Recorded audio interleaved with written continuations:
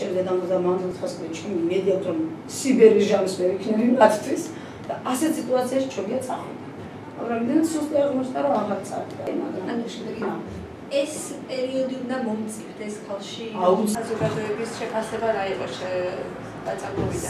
არ შემხვედრია ადამიანი შუა ასაკის ახალგაზრდა მით უმეტეს არც მეტყოდა და საკმაოდ ასაკმაოდ ადამიანებს რომელსაც ეთქვა ჩემთვის რომ უი ეში რატო პრობლემისთვის და სხვადასხვა საკმაოდ კარგი ტრენინგი და მე იყო საკუთარი თავის ცხოვრებაში არც საყვარელი საქმე აქვს საყვარელი საქმიანობა არ აქვს აქვს აგრესია დაჩაგულაზობს თვითონ თავს და დაბალი ჩაფასება აქვს და მე რო უკვე ასეთი გაბოროტებული ადამიანი ჭყალებში უკვე ეძებს მსხვილს ვიღაცაზე ვისაც ანთხებს ამ ოღონდ ეს არა მარტო მეუღლეებს შეიძლება ეს ჯახის სხვა წელს ბავშვმა ბავშვი იძლევა დაცმა და და და დაზე და ასე შემდეგ.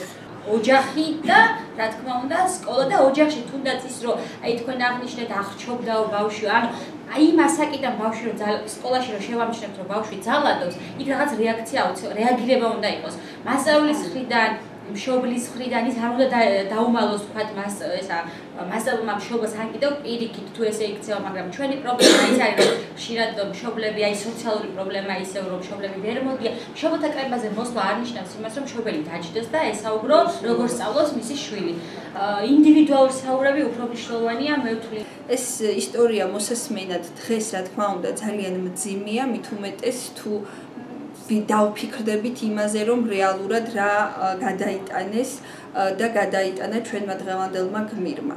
ეს არის ერთი ქალის ისტორია და მე იმედს ვიტოვებ, რომ ამ ქალბატონის ამ ქალის ისტორია იქნება ერთგვარი სტიმული და მამოძრავებელი ძალა ყველა იმ ქალისთვის, ვინც დღეს არის სამწუხაროდ ოჯახური ძალადობის მსხვერპლი და მისცემს პატარა საშუალებას იმისას, რომ გადადგას ძალიან მნიშვნელოვანი ნაბიჯი თავის ცხოვრებაში. 18 წელი, 18 ნახევარს 19 წელი, ძალადობა ბოლო 5 წელი, თუ მანამდე რაღაც რაღაცა ელემენტები იყო.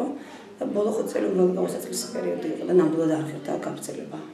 ჩემსავე ძალიან ბევრს უჭირს ეს და გადა მათაც გადაწყვეტონ რაღაცნაირად ეს ურთიერთობა, რაც არ არის ჯანსაღი ურთიერთობა და რასაც არ მოაქვს ესე რომელიც ეს ის გზა, რომელსაც ეკლესიისკენ მისასვლელი გზები არ აქვს. და ჯობია დროულად გაახლონ თვალ და დროულად აღიარონ ისინი არიან ძალადობის მსხვერპლები.